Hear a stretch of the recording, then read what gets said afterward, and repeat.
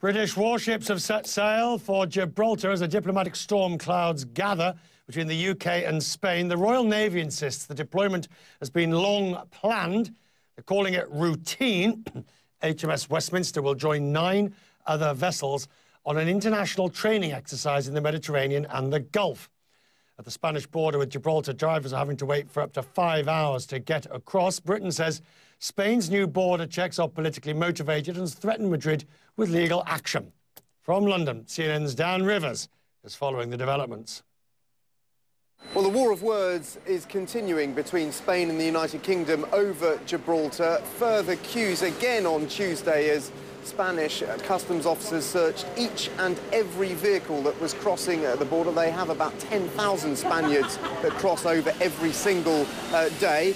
Uh, the dispute has been sparked uh, by uh, the Gibraltese uh, government putting in a fishing reef just off the coast of Gibraltar. The Spaniards are saying that that will prevent their trawlers from fishing for shellfish there. It's reignited a long-running dispute over the sovereignty of the uh, territory, which is classified as a British overseas territory, one of 14 uh, around the world that falls under the sovereignty of Britain. Britain has had sovereignty for more than 300 years. Now Spain uh, is saying that it is uh, going to take the whole issue to the UN Security Council. It's seeking Argentinian, Ar Argentinian support for that uh, because they have a similar claim over the uh, Falkland Islands. Meanwhile, Britain is saying it will take Spain uh, to the European Court uh, if necessary. And on Tuesday, there was a further escalation when the uh, Spanish Minister for Agriculture and Fishing uh, said he would impose tough sanctions against any ships that are uh, conducting uh, ship-to-ship -ship refueling based uh, in Gibraltar,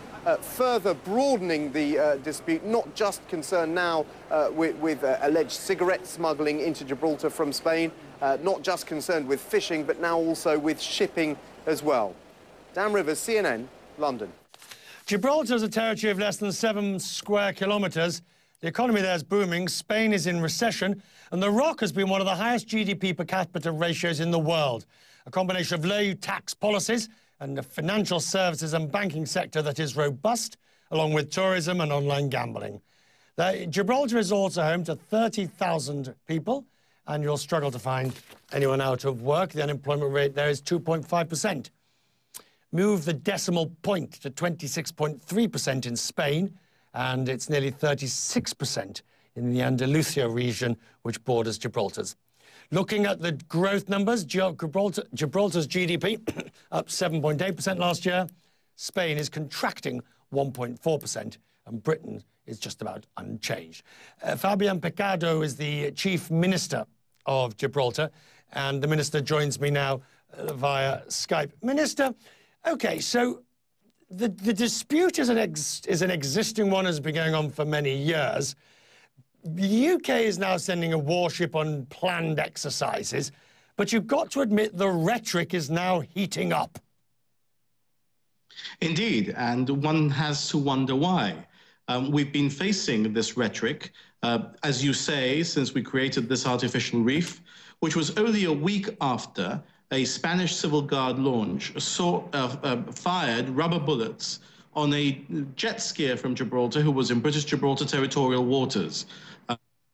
Um, he was doing nothing wrong. He was just set upon by them. We didn't raise the temperature and the rhetoric then. We dealt with matters in so, a much more professional and diplomatic way. Why right, is it that so, Spain wants to raise the rhetoric? Right. I mean, let me ask you this. The, cynics say it's because the economic situation is so bad in Spain and they're doing the old trick of diverting attention uh, by focusing on a nationalist uh, spat with another country over Gibraltar. Is it really that simplistic? I don't think it is. I'll tell you, I think it's about two aspects of Spanish politics. The first is the one you identify, which is the serious economic problems that Spain is having. But I think the more serious issue, because that's been going on already for three or four years, the more serious issue are the corruption allegations engulfing Mariano Rajoy and the Popular Party, which are ironically coming to a head with some hearings in court tomorrow, the Bárcenas case. I think that has more to do with why Spain wants to divert attention to me and my 30,000 fellow citizens and the difficulties that they are creating for us. If that's right, then this thing, I mean, the worst that anybody can do is respond to it because effectively, Spain ain't going to invade Gibraltar, which is, of course, uh, part of another EU country. So that's not going to happen. At best, they will be troublesome, and at worst, they will make life a bit more difficult for you. Yes, but it's also uh, not possible to just roll over and take it. So it's a combination of having to deal with things in a diplomatic, calm and assured manner and not deal with issues as the as Spain might wish. I mean, you, if you look at the Spanish newspapers, eight pages of Spanish ABC, which is one of the right-wing newspapers, and another eight pages of La Razón, the most right-wing of the Spanish newspapers, have been dedicated to this every day for the past nine or 10 days. That really is Spain trying to ensure that, or the Popular Party trying to ensure that its supporters are reading about this nationalistic issue and not about the issues afflicting the party. Right. Finally, um, ultimately, what do you want? I mean, you want Spain to let, just go away, basically, and, and behave on this subject. But ultimately, what do you want the UK to do? You've got these warships coming down, coming down on, on planned exercises. Are you calling for a show of force? No, uh, let's be very clear, Richard. We don't want Spain to go away. We want Spain to be a strong partner of Gibraltar. Our most treasured relationship is the relationship with the United Kingdom. That is strong, and that is why we're standing shoulder to shoulder, facing down these problems together. But our next most important relationship must be with Spain. 10,000 Spaniards come into Gibraltar every day to work here. People from Gibraltar get married to people from Spain. Despite the headlines, there's a lot of great business going on between right. Gibraltar and Spain.